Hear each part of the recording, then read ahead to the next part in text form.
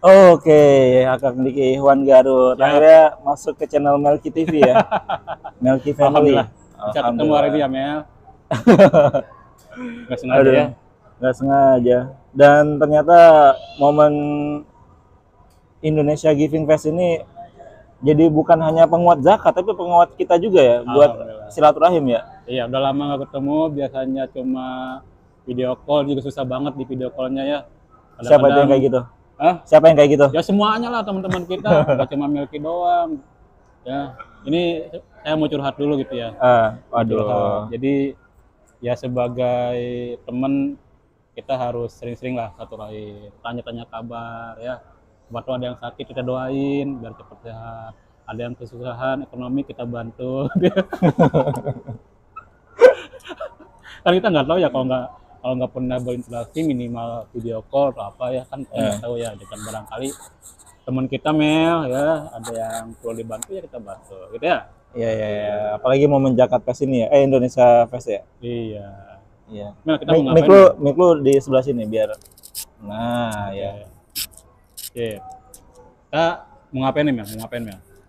Enggak, gua ini aja. Kita kan udah temenan lama ya. Ya. Dari Berapa 2008 ya. Eh ya 2008. Ya, Jadi- sejak kita kuliah lah. Di antara kawan-kawan kuliahan yang ketemuan lagi ya cuman ini doang nih. Alhamdulillah cukup sering ya. Iya, walaupun dibanding yang lain kita cukup sering. cukup intens lah ya. Kalau nggak di telepon ya ketemuan. Walaupun ini si Diki ini udah ada di tinggalnya di Bandung sekarang. Di Ya, mana Bandung pinggir. Jadi curhat lagi nih Mel. Ah, Kan tinggal itu di Tanjung Sari Sumedang. Jadi kalau ditanya tinggal di mana, kan? Kalau dibilang Sumedang, Ah. orang mikirnya tuh jauh. Kayak kita kalau bilang di Bogor, padahal tinggal mungkin di pinggiran Bogor tuh kayak pinggiran di agak-agak Depok-Depok itu gitu. ah, agak-agak Depok dekat. Ah. Dibilang Bogor jauh banget sama kayak saya Mel, gua Mel. Bilang Sumedang jauh banget, dibilang Bandung bukan Bandung. Jadi Tapi emang jauh kan? jauh. Dari Jakarta jauh gitu kan. Jadi sekarang tinggalnya di situ di Sumedang, maksudnya Sumedang. Gimana rumah lu di sana nyaman nggak tinggal di situ? Karena lu kan sempat mau dijual rumahnya. Habis Ya. itu nggak jadi. Ya nggak jadi karena nyaman ya. Terus dijual kenapa? Eh, itu adalah lintasan pikiran ya sesaat waktu itu kayaknya pengen pindah ke Bekasi waktu itu ya. Istri pengen pindah ke Bekasi ya nggak jadi ya karena satu hal kita masih di Sumedang sekarang Kenapa? ini Ngambil- nya khusus gue ya Mel ya sekarang ya gue Iya, diwawancara kayaknya nih Iya, enggak kita ngobrol aja. Kenapa lu ngambil rumah jauh-jauh? Lu kan tinggal lu di kuliah lu di UIN. Ah, Ngekos udah terbiasa dengan UIN. Habis itu selesai itu kerja masih di Jakarta lah gitu ya. Kenapa lu ngambil rumah di Ba- di Sumedang, Bandung, ap- apa pun itu, sementara kerjaan lu di Jakarta. Kecuali lu kerjanya di Bandung nggak masalah gitu. ini lu nanya karena emang belum tahu ya apa gimana Iya, gua nggak tahu, gua nggak tahu. Jadi eh, latar belakangnya itu ya pertama setiap orang tuh punya impian ya Ah, ya, punya impian nggak punya, nah, punya. jadi setiap orang tuh punya impian Hmm. Nah, ini tuh impian istri, ya. Istri itu ya si- si- siapa pun istri lah, Hmm. pasti pengen punya tempat tinggal yang nyaman. Iya, Nyaman itu dalam artian mungkin ya milik sendiri, milik bukan sendiri. kontrak ya. Oke. Karena kalau ngontrak itu pasti ada keterbatasan lah kita pengen ini pengen itu ya rumah orang lain ngapain kita perbagus gitu Eh, jadi pertama itu karena ada ada impian kita lah pengen pengen segera punya rumah sendiri ya. jadi waktu tinggal di Depok itu hampir tiap minggu lah, Mel. Sering kita tiap minggu itu jalan-jalan keliling Depok Hmm. untuk eh, ya survei rumah. Ya, survei rumah. Di daerah sekitaran Depok. Ya, ke Sawangan pernah, ke Oh. Pasir Putih pernah, kan. Sampai Hmm. saya ke istri itu ngapain deh kita eh, survei-survei rumah, gitu kan. Emang kita punya uangnya kan gitu. Hmm. kata istri nggak apa-apa kita kan pengen tahu dulu kayak kayak gimana sih eh, kalau kita pengen punya rumah tanya-tanya ke marketingnya ke developernya gitu kan. Akhirnya ya gitulah sering sering kita ya weekend itu jalan-jalan. Jalan-jalan nyari rumah. ya. iya survei rumah. Padahal itu nggak punya uang sama sekali. Iya. dan ini mungkin juga sebagai apa ya motivasi lah buat Nah, teman-teman yang belum punya rumah ya harus kita harus punya impian gitu kan. Nah, kapan punya rumahnya. Gue yakin di Facebook lu, Instagram lu iklannya iklan rumah semua ya?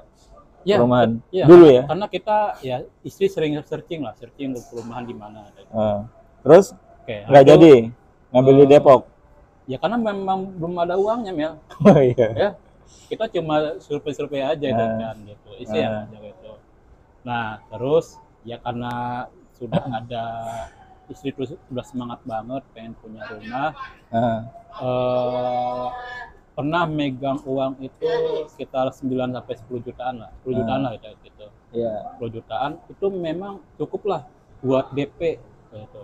Ah. Ya sebetulnya nggak cukup juga sih, cuma kata marketingnya bisa dibantu kok gitu kan gitu.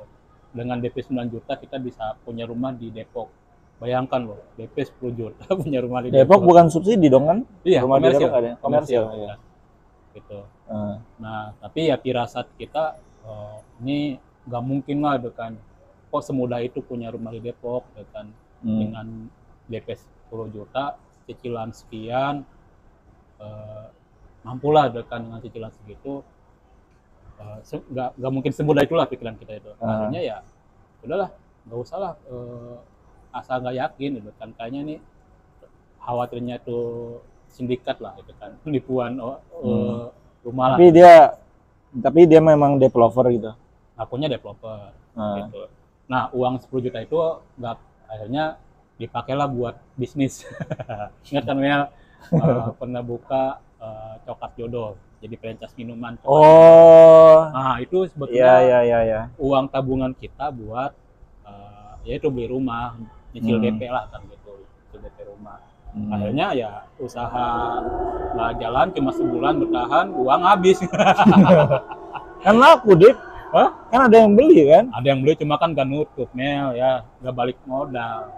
Berapa bulan itu? sebulan aja sebulan itu ya eh, omsetnya cuma bisa buat ya bayar karyawan aja gitu kan jadi nggak bisa untuk kita hitung hitungan kita kayaknya kita juga belum siap lah untuk jadi seorang Ini eh, bukan salah produknya, tapi salah di bukan salah produknya tapi ya. memang me- mental kita belum siap Ah, ya ah. disclaimer dulu bukan salah produknya bukan salah coklat jodohnya tapi mental kita yang memang belum siap. Karena produknya enak, Dik. kan Produknya gua udah ke sana sana kan pas awal gini gini kan. Mel kenapa mental kita belum siap? Kita masih suka jalan-jalan. Jadi ketika buka usaha itu benar-benar kita harus harus fokus ya. Hmm. nggak bisa jadi sampingan. Eh, harus fokus. Terus ya itu habis bahan kita harus beli bahan. Sedangkan kita mungkin lagi jalan ke mana gitu ya gitu Ah. kan ditelepon sama eh, ini eh, karyawan kita pak eh, bahan kita habis buat ini Wah, kita pulang beli ini nyiapin es batu nyiapin apa gitu kan Hmm. kita kayak belum siap kayak gitu ya Masih masih menikmati gaji Masih- bulanan. dia masih pengen menikmati ya belum belum belum siap untuk bersusah-susah gitu kan untuk membangun usaha. Ah, Baik lagi Mel, pertama ya kenapa gue punya rumah di sana impian. impian. Terus yang kedua ada kesempatan. Kesempatannya apa? Jadi waktu itu tanya-tanyalah ke ke ini ke HRD di rumah zakat. Nah, Ada nggak program eh, perumahan buat rumah amil? Amil, ya. buat karyawan. Hmm. Nah, alhamdulillah dikasih tahu ada program perumahan amil eh, di Tanjung Sari Sumedang. Gitu. Katanya aksesnya dekat ke Cileunyi cuma 10 sampai 15 menit ya. Terus DP-nya juga terjangkau dan kita juga nggak nggak merasa takut atau khawatir ya bakal kena eh, penipuan atau apa gitu kan karena ini lewat eh, perusahaan langsung ya Hmm. gitu jadi saya tanya ke istri mau kita survei ya nggak mau Hmm. dulu maksudnya eh, ayo kita survei. Saya ajak langsung ke perumahannya. Hmm.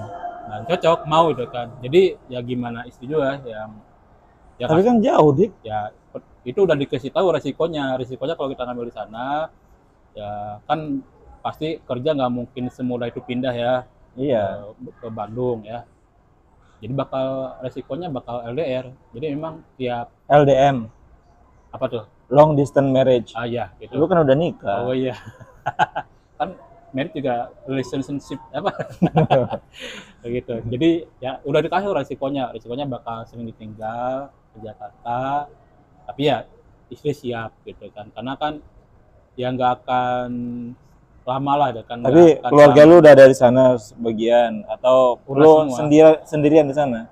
Oh, maksudnya ada ada nggak- anak Di antara tetangga lu nggak ada yang saudara lu gitu nggak maksudnya? ada nggak ada Nggak nggak ada. ada saudara nggak ada siapa-siapa di sana benar-benar kita merantau lah ibaratnya mandiri gitu kan dan mandiri untungnya istri itu mandiri banget lah orang Jawa memang mandiri lah Terus perumahan yang di sana tuh memang banyak amil yang di sana. iya Gimana rasanya tinggal dengan teman kerja?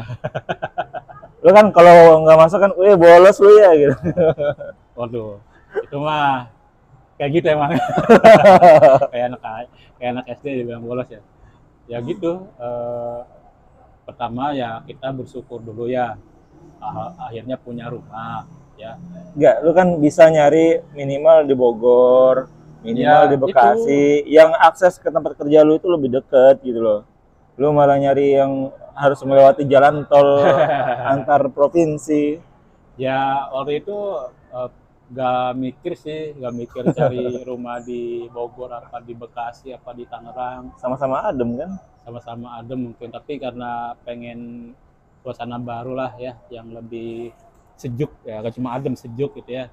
Hmm. Eh, kita di sana deh, gitu kan. Makanya Melki datang Seka- dong, sekar- Mel. sekarang gimana di sana? Udah mulai nyaman? Mau dijual lagi nggak rumahnya? Insya Allah dijual lagi. Berarti nggak ya, nggak nyaman dong. Nyaman, nyaman. Tapi mau dijual. Cuma kan itu kan rumah subsidi ya, rumah Eh. subsidi yang ya terbatas lah. Eh, ya cuma luasnya kan cuma 10 kali 6. Hmm. Nah, terus ya kualitas rumah subsidi tau lah kayak gimana kan gitu. Dipaku dikit aja udah Ya. ini kan. Tapi lu mau jual lagi rumahnya? Rencana iya mau kita jual tapi bukan dalam waktu dekat ini. gitu. Berapa? Artinya Berapa kisaran berapa? nggak tahu ya karena karena itu baru rencana jangka panjang juga nggak dalam waktu dekat ini kita mau jual. Iya lu kalau mau ngejual rumah kan nggak bisa cepat juga lakunya. Lu jual dari sekarang biar orang-orang tahu kalau itu rumahnya dijual. Tapi lu pasang harga yang lebih tinggi dulu sehingga lu nggak terlalu rugi gitu. Ya karena nggak sekarang salam ya, nggak dalam waktu dekat ini. Ngerti nggak? Mungkin dua tahun lagi, tiga tahun lagi. Gitu. Jadi bukan dalam waktu dekat ini mau dijual atau gimana gitu kan. Tapi bukan berarti nggak Berarti masih setengah-setengah lah niat buat mau ngejualnya ya. Iya, iya. Ya karena niatnya ingin inilah ingin berpindah ke tempat yang lebih baik. Oke. Ya. Dan sekarang lu udah jadi konten kreator ya Oke ya. di Instagram ya. Ya. Sahabat Kang Diki. Kenapa lu inspirasi lu dari mana yang kayak gitu? Kan dulu kalau dulu sih eh, dulu lu memang aktif di sosmed, tapi kan nulis, ada foto dicekrek, tulis statusnya dan tulisan lu memang bagus gitu kan. Karena nulisnya pakai lap ini ya HP ya, bagus. Terus sekarang lu bikin konten tapi video. Kenapa? lu ud- udah ngerasa pede lu ganteng banget gitu sehingga lu memunculkan wajah lu. Eh, kenapa ya? Eh, ya sekarang kan udah zamannya ya. Udah udah zamannya orang bikin konten, kreator, konten kreator, terus melihatnya itu kayaknya seru aja gitu. Seru daripada kita cuma jadi penonton, kenapa tidak kita jadi ya kreator juga gitu yang bikin konten konten gitu kan. Ya pengen ini ya experience-nya gimana gitu kan. Apakah Hmm. kan kita lihatnya kok eh, gam- kayaknya gampang gitu ya bikin konten-konten lucu, konten-konten orang nge-review apa makanan, nge- nge-review rumah, jalan-jalan, bikin konten gitu kan. Hmm. Selama ini seneng aja nonton gitu kan, nonton konten-konten begitu. Nah, cuma ya kenapa tidak gitu kan untuk dicoba jadi konten kreator juga. Kan baru mulai juga Mel belum punya channel YouTube kayak Melki kan, gitu kan. Baru di Instagram aja gitu kan. Alhamdulillahnya dapat sambutan ya. sambutan Udah- baik. Udah gitu punya banyak fans ya Udah sekarang. banyak ya? banyak fans ya. gitu kan. ya ada perubahan lah gitu kan dari sebelumnya itu eh, yang yang komen, yang like mungkin di Instagram, di Facebook gitu kan. Eh, ya mungkin orang juga ngelihatnya biasa gitu kan. Tapi dengan adanya konten sahabat Kang Diki kemudian kita ya sebetulnya seru-seruan aja gitu kan Kenapa nggak jadi sahabat Fedi Nuril? siapa memang pendengar kan bukan kan lu mirip Fedi Nuril, Dik. dulu ya dulu Dulu mirip. ya. sekarang pede dulunya mirip Kang Diki Lu kan dulu sering update status gitu ya, pas Ah. zaman kuliah. Habis itu nikah. Setelah nikah tuh agak mereda dikit. Kenapa tuh? Semuanya di statusin. oh iya Termasuk istri lu yang ketinggalan helm. Disuruh jemput, datang-datang di videoin. Oh, inilah salah satu kekuatan konten Kang Diki. Itu konten udah lama, tahun 2016. Tapi ini Melki masih ingat. Nggak, kan kasihan abdanya, kasihan istri lu. Ini ke- salah satu Datang-datang malu di-videoin. Diki. Ya, kita aja mungkin lupa-lupa ingat ya, tapi Mel- Melki ini ingat masih ingat ya konten itu ya. Kenapa ya? Sem- Kenapa ya, lu jadi mereda gitu? Eh ya evaluasi lah. Evaluasi eh, kenapa ya mungkin mungkin karena sudah berdua ya ada istri eh, ya mungkin istri juga me- me- membantu menilai lah menilai mengevaluasi. Kayaknya konten-konten saya terlalu lebay. Terlalu lebay terlalu apa-apa diupdate ya kan. Jadi harus dipilah-pilah lah dengan mana yang bagus untuk konsumsi publik mana untuk konsumsi pribadi jangan itu konten pribadi ya khususnya kon- konsumsi pribadi aja tapi di eh, dijadikan konsumsi publik gitu kan ya kita Iya. harus pilah-pilah lah Mel untuk membuat konten Jadi nggak ada yang tiba-tiba ngevideoin ketinggalan helm, udah nggak ada nggak kayak gitu lagi ya? enggak enggak Nggak, Abis diomelin ya. gitu jadi ya evaluasi lah kan kita harus bisa bikin improvisasi yang baru kan gitu Wah, Dik, lu kan udah punya dua anak, ah, Akram, Sultan. Kalau seandainya nih anak lu ditanya sama orang, bapak lu eh, apa? Manggilnya apa? ayah Nah, kalau Akram ditanya gitu ya, Akram, ayahnya ayahnya Akram itu seperti apa sih orangnya? Lu pengen jawaban Akram seperti apa? Menilai seorang ayah. eh ya Akram suka bilang ayah itu hebat ayah keren su- suka nanya gini ayah bisa nggak begini gitu kan Hmm. bisa dong Akram ayah bisa begini gitu kan ya alhamdulillah anak suka mengapresiasi juga ya dengan apa yang dilakukan oleh ayahnya kan gitu ayahnya keren Tapi ayahnya tapi hebat. sesungguhnya yang lu inginkan jawaban dari anak lu apa? Lu Eh, dikenal sebagai seorang ayah yang kayak gimana? ayah yang hebat. Ayah hebat. Ayah yang hebat. iya. Oh. hebat dalam karir karirnya ya. Hebat dalam rumah tangganya.